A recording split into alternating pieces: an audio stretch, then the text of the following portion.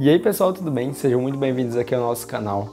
Bom, no vídeo de hoje nós vamos dar continuidade aqui falando sobre o ESP32, que é essa plaquinha aqui que a gente consegue fazer diversos projetos. Os principais projetos que a gente faz utilizando essa placa aqui são os projetos que a gente envolve conexão via Wi-Fi e via Bluetooth. O que a gente vai explorar nela hoje é a conexão via Bluetooth. No vídeo passado, a gente ensinou como você pode estar começando a dar os seus primeiros passos nessa plaquinha aqui, conseguindo baixar a biblioteca dela instalar no, na ideia do Arduino, como você pode dar, fazer o seu primeiro programa e como você pode enviar mensagens para ela aqui. Bom, agora que a gente sabe como fazer esse tipo de conexão, como enviar mensagem para cá, a gente vai tentar é, aproveitar esse nosso sistema de enviar mensagens para executar alguma coisa.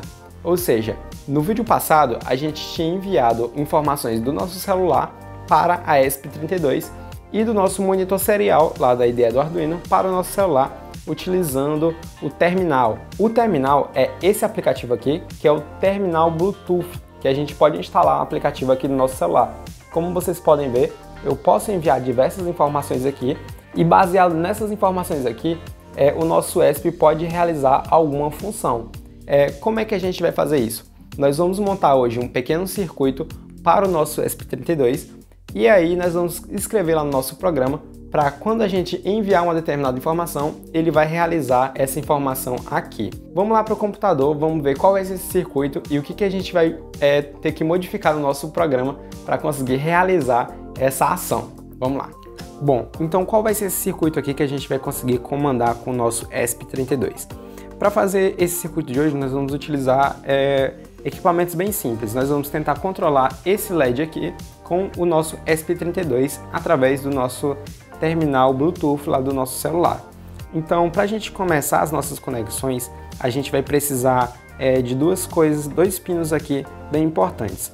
Um deles vai ser um pino digital, que é o pino que vai conseguir mandar informação, e o outro vai ser o GND, que é o que é para como se fosse fechar o meu circuito, quando eu coloco uma corrente aqui no terminal positivo e depois ela percorre aqui o caminho até o negativo.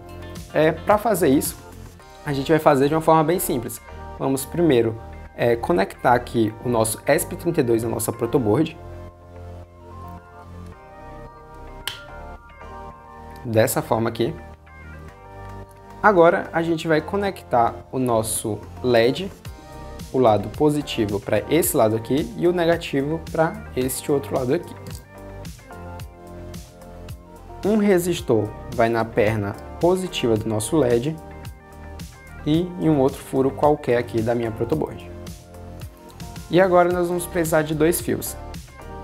Em uma das pernas do meu resistor aqui que ficou sobrando, eu vou conectar esse fio aqui e aí ele vai conectado no pino digital 13, ou seja, D13, aqui. O outro terminal aqui do meu LED, que é o que ficou aqui do lado direito, eu vou conectar no meu GND para conseguir formar meu circuito. Meu GND está do lado do meu pino digital 13. Então esse aqui é o meu pino digital 13, o pino do lado aqui vai ser o meu GND. Está escrito aqui na minha plaquinha. Bom, esse aqui é o nosso circuito bem simples de se montar, só que ele vai ficar com um efeito bem legal, porque agora eu consigo, lá no meu programa, na minha ideia do Arduino, enviar um código aqui para o meu ESP e aí consigo, através do meu aplicativo terminal, é, comandar esse meu LED. Eu posso, por exemplo, colocar ligado e ele vai ligar, ou até mesmo colocar ele para ligar é, durante um tempo, ou qualquer coisa que eu fizer lá no meu programa. Vamos lá para a tela do meu computador para a gente entender como isso vai funcionar. Bom, aqui no nosso computador, o que a gente vai fazer é enviar esse código aqui para o meu ESP32. Mas antes da gente enviar, a gente tem que entender algumas coisas aqui desse código. Ele é um código bem simples, é só um código para a gente conseguir conectar aqui o meu Bluetooth do meu ESP32 ao Bluetooth do meu celular e assim conseguir fazer ambos se comunicarem.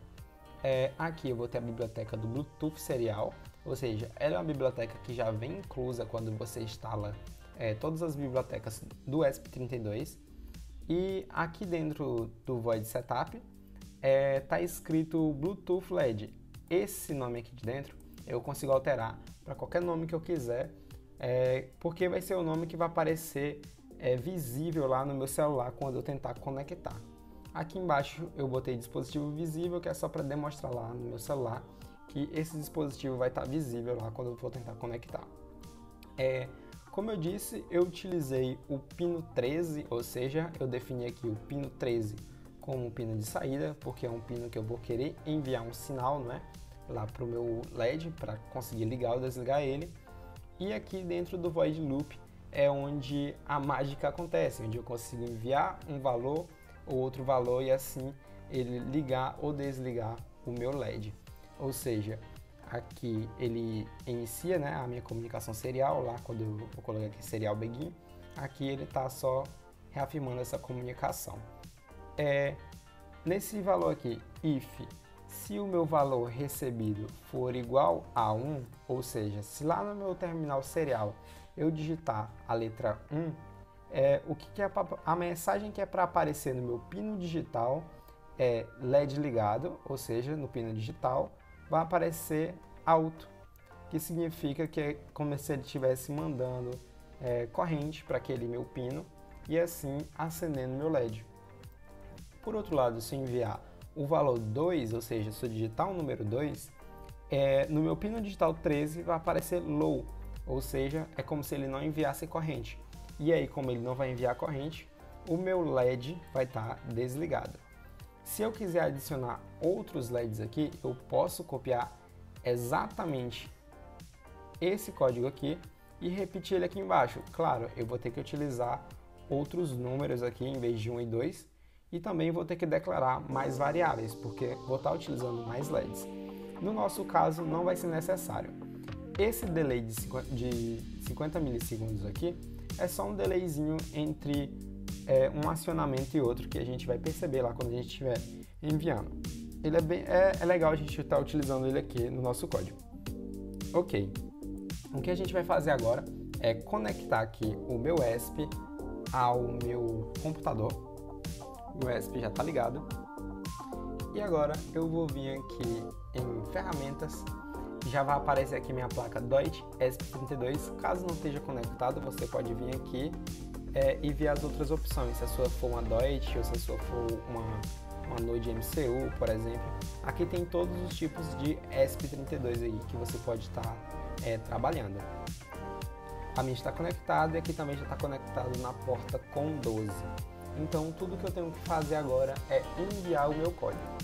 É uma coisa que a gente vai ter que se atentar aqui, ó, no caso já enviei, mas eu vou reenviar para mostrar isso para vocês. É, eu vou enviar aqui o meu código, carregar ele para minha placa. Quando eu estiver carregando, ele vai aparecer uma mensagem aqui embaixo. Quando começar uma mensagem aqui, a primeira linha for laranja, ou seja, eu vou ter que apertar o meu botão aqui ó, de boot e aí quando eu apertar esse botão algumas vezes, que ele vai realmente conseguir carregar o meu código ali para minha placa. Ó, apareceu conectando, então agora eu vou começar a apertar esse botão algumas vezes.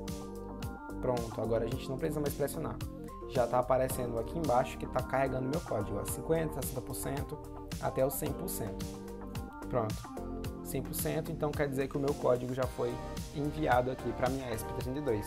E agora a gente consegue testar com o meu celular aqui se meu LED vai realmente ligar ou não.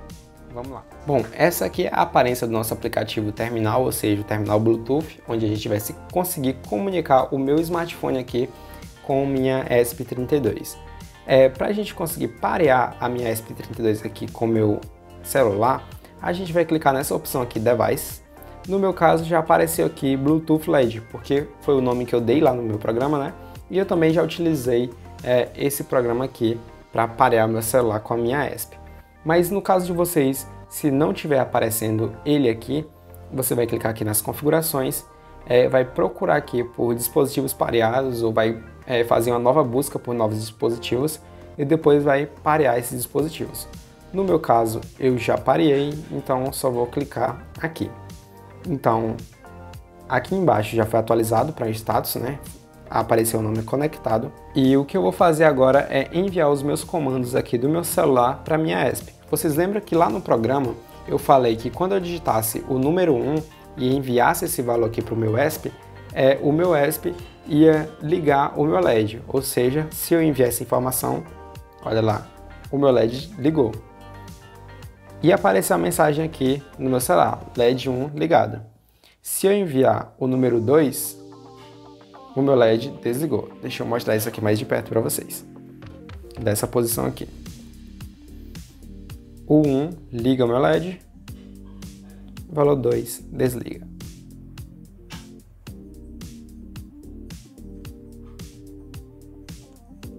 E assim eu consigo é, ter o intercâmbio das minhas informações, ou seja, eu consigo enviar minha informação aqui do meu celular para o meu ESP através do Bluetooth. É de uma maneira bem simples a gente consegue comunicar os dois e também de uma maneira bem simples a gente consegue ver isso de forma visual como essa minha informação aqui do celular está atuando aqui no meu microcontrolador. Isso é bem legal mesmo. A gente pode aplicar ele, por exemplo, aqui, substituir esse LED e colocar por exemplo, um relé e assim conseguir controlar é, uma lâmpada, um canais de um, vários canais de lâmpadas aqui, vários canais relés para ligar é, várias lâmpadas ou o que seja que a gente esteja controlando aqui através do meu celular.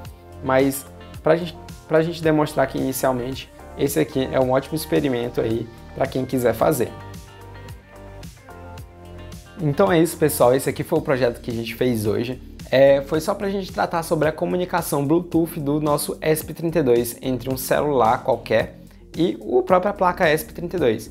A gente conseguiu ligar nosso LED aqui, poderia ser um outro equipamento, mas foi só para a gente é, estudar esse princípio e aplicar ele de uma forma prática e bem simples. É, eu espero que vocês tenham gostado desse experimento que a gente acabou de realizar. E se vocês gostaram desse vídeo, já se inscreve aqui no canal e também deixa o like, que isso aí ajuda a gente demais. Se vocês quiserem continuar recebendo esse tipo de vídeo aqui, esse tipo de conteúdo que a gente produz toda semana, ativa os sininhos aí que a gente está toda semana aqui atualizando mais informações aí para você. É, a gente vai ficando por aqui, pessoal, e até a próxima. Tchau!